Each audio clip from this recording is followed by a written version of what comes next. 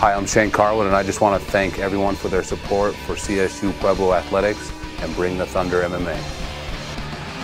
Uh, the most memorable moments in MMA is probably my first fight, uh, the feelings I had before the fight and after. Um, the only other sport that has given me those type of feelings has been wrestling and uh, the UFC and, and, fighting in front of crowds, you know, 20,000 plus, and and just to hear the, the roar of the crowds and the excitement, uh, you know, it's it's a feeling that's unexplainable. Colorado has become a hotspot for MMA, and um, it's really growing here. And, and I think a, a, good reason for that is there's a great foundation of wrestling here, and, and you can see that here at the colleges, uh, just like uh, CSU Pueblo.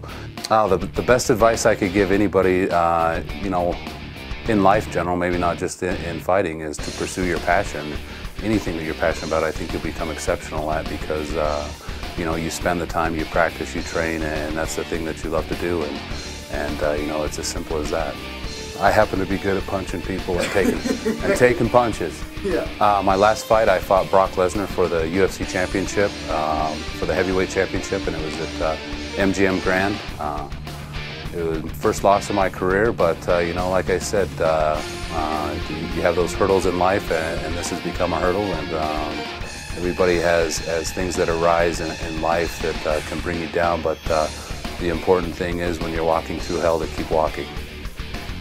All right, guys, thanks for the support. Thanks for coming to the fights. And be prepared to watch one of the most exciting nights of your life. Let's get ready to watch the fights. Bring the Thunder MMA.